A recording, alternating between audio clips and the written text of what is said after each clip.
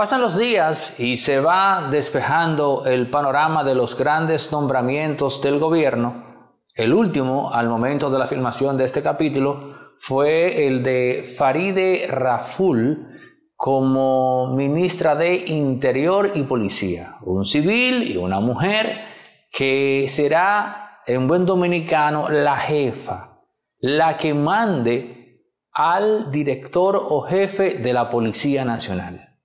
Ahí se pueden dar conflictos, ojo con eso. Sin embargo, hay un nombramiento que, aunque no se ha manoseado mucho de cara a la opinión pública, le está ocasionando serios problemas, sendos problemas al presidente Luis Abinader. Y es el nombramiento del Procurador General de la República. Ha trascendido que Jenny Berenice ha somatizado que ella será la próxima procuradora y que en consecuencia lo que ha hecho es comenzar a nombrar gente de boca.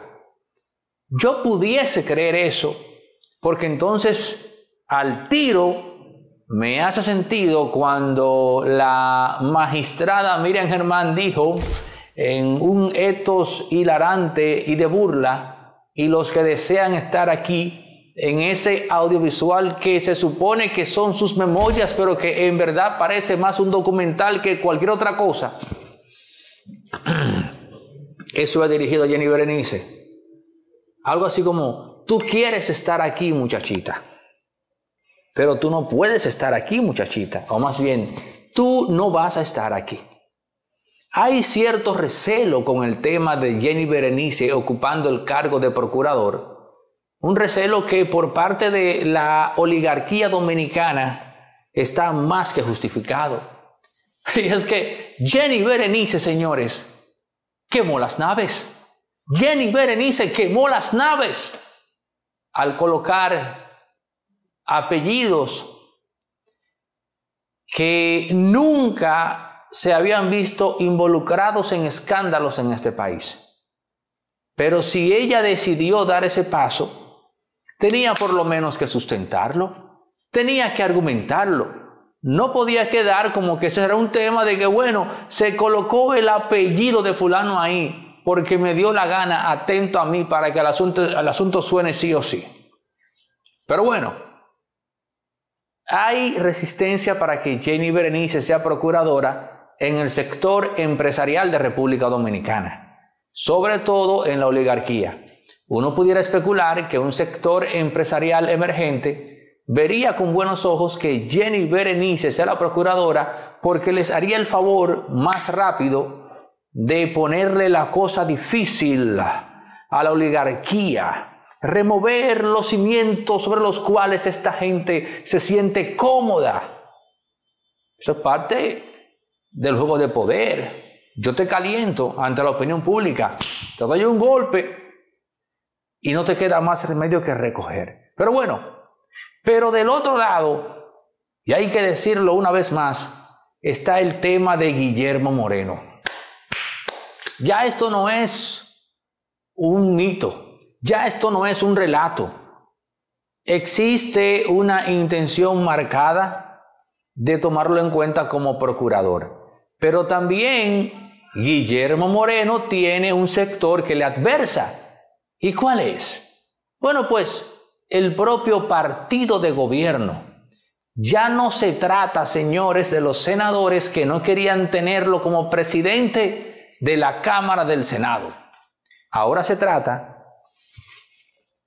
oigan bien esto, ahora se trata de los funcionarios los que están y los que aún faltan por ser nombrados, que sienten que Guillermo Moreno podría caer en la ligereza, oigan esto, de tratar de hacer capital político y usar ese cargo para proyectarse como candidato presidencial en el 2028. ¿Y cómo? Bueno, pues pasando por la brasa a algunos funcionarios que se equivoquen.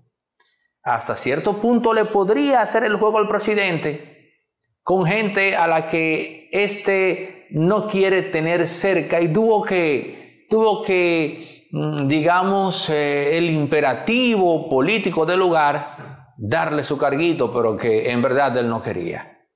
Si Guillermo Moreno en el ejercicio de descubre algo, pues ya, ahí está, bingo. Guillermo es el hombre para salir de ese funcionario.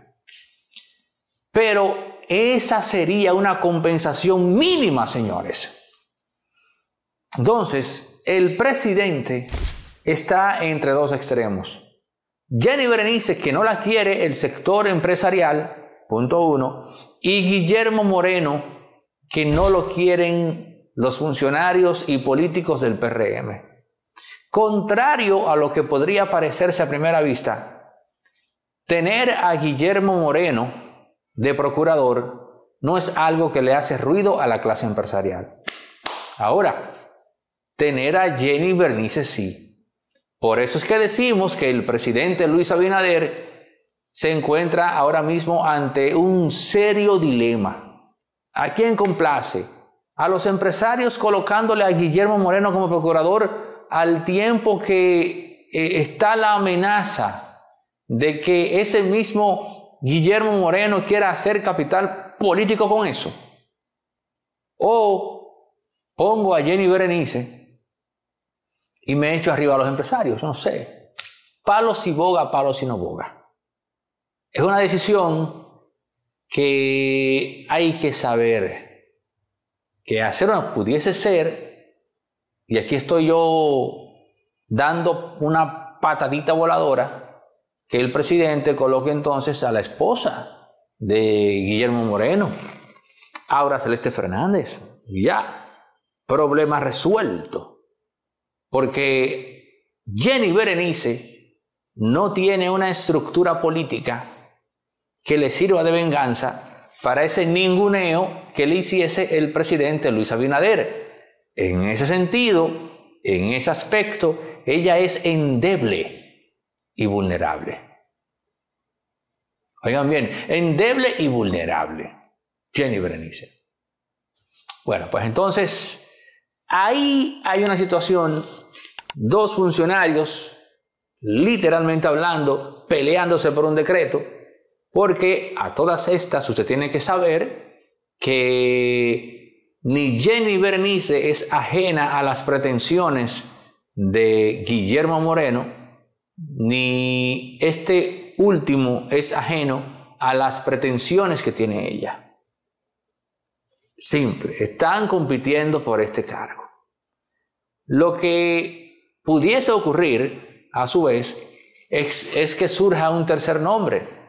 Y ya surgió uno, pero lo quemaron. Con el lío aquel de lo que destapó Julio Martínez Pozo, a ese señor lo quemaron ese ya no va para allá. Difícilmente aún se le esté considerando para ser procurador general de la República. Hay otros cargos, hay gente que se queda, hay gente que la van a remover, hay gente que la van a sacar definitivamente del gobierno y hay unos cuantos que van a poner su cargo a disposición del presidente. Y entre esos pocos que van a poner sus cargos a disposición del presidente, hay uno que tiene un proyecto presidencial y que quizás inspirado por el ejemplo de Danilo Medina, él dice, mire presidente, gracias por la confianza, tenga, yo me quité. Repito, hay uno de los presidenciables que va a poner su cargo a disposición del presidente. ¿Quién será? David Collado, Yayo Sanz Lobatón, Wellington Arnott. Carolina Mejía no puede hacerlo porque ella es síndico. No sé si puede renunciar y dejar ahí, no sé, dejar al hijo, no sé. Pero hay, repito, un presidenciable que le va a entregar el cargo al presidente. Y todo luce que la intención del presidente es dejar a esa persona en ese cargo, pero él quiere entregar. Es una situación delicada y es una situación delicada porque si tú le entregas a un presidente que quiere que tú te quedes ahí, ¿cómo luego tú puedes pretender contar con el apoyo del presidente? ¿Cómo puedes luego pretender que el líder natural del partido te endose su empatía colectiva?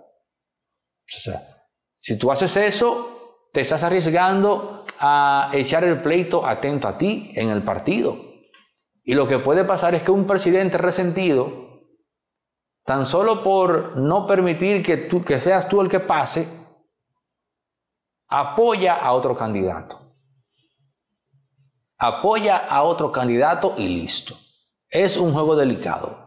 Y lo es porque si entonces decide quedarse como funcionario, no necesariamente su rol como funcionario le va a garantizar el trabajo que tiene que hacer para proyectarse como el próximo candidato presidencial del PRM. Es un juego complejo que usted no visualiza cómo salirse de abajo de esa patana. O como dicen, salírsele de abajo a las patas del caballo. Mientras tanto, en el partido de la Liberación Dominicana, Francisco Domínguez Brito saca cabeza temprano y ya dijo que con el PLD en la situación actual que se encuentra, él gana las elecciones. Me parece evidente que Francisco Javier García, Francisco Javier García, por si dije Domínguez Brito, no, digo Francisco Javier García, está apostando al desgaste de ocho años de gobierno del PRD, del PRM, perdón. Está apostando a eso, porque cuando él dice, saliendo temprano, ¿eh? con este PLD yo gano las elecciones. Está proyectando a futuro un PLD moderadamente fuerte y un PRM debilitado, desgastado. Hay quienes dicen que Francisco Javier García es un títere de Leonel. Yo digo que no. Digo que Francisco Javier García tiene las luces y la autonomía para hacer todos sus cálculos independientemente de Leonel. Y que solo lo apoyaría si de forma indiscutible los números proyectan que Leonel es quien tiene la ventaja. Pero salir desde ahora siendo candidato conlleva, entre otras cosas, también hacerle una campaña a Leonel para disminuirlo. Por lo tanto, desde ya el expresidente Fernández tiene que contabilizar un adversario político más, más allá del esquema en el cual se tenía en el horizonte solamente al oficialismo. Señores, vienen más decretos en los próximos días, ya estamos en agosto, por ahí viene la confirmación de Guido Gómez Mazara en el cargo que ya se extraoficialmente ha trascendido. Armando Paino es el ministro de Medio Ambiente, tal como pronosticamos nosotros. No, no planteamos su nombre porque no queríamos quemarlo, no queríamos generarle una situación adversa, pero decíamos, su nombre comienza con P. Y a nivel fonético suena mucho a taíno. A los aborígenes, a los indígenas del país. Taínos, paíno, simple. Pero repito, no dije paíno categóricamente porque a veces, bueno, a veces no, siempre los presidentes sienten como que los políticos dejan caer cosas vía los comunicadores para tratar de predisponer a la opinión pública y que luego al presidente no le quede más remedio que actuar en consecuencia. Suscríbanse, activen la campana, comenten, compartan, den like, en pie, hasta el próximo. Farmacia Medicar GBC está abierta de lunes a domingo, sigue en pie con su descuento de un 20% y también tiene su app que pueden descargar eh, los amantes de Android y la gente también de Apple. Farmacia Medicar GBC, la de nosotros los dominicanos. Atención a todos los profesionales, emprendedores y empresas medianas y pequeñas que quieren tener su contenido de calidad circulando por las redes sociales, dando a conocer sus servicios. En Resorte Media hemos habilitado una unidad audiovisual especializada en la producción de contenido corporativo, empresarial y para todo aquel emprendedor que quiere acogerse a aquello de que dice que una imagen vale más que mil palabras en efecto podrás tener las mejores imágenes, la mejor calidad al precio más competitivo del mercado para dar a conocer tu servicio a todos acá en República Dominicana. E incluso si tu empresa capta clientes en el extranjero, también podrás contar con eso. Contáctanos, escríbenos al 829-741-361 para que arranques desde ya a colgar contenido en tus redes sociales con la mejor calidad audiovisual posible, la que Resorte Media pone a tu disposición con el presupuesto más eh, asequible del mercado.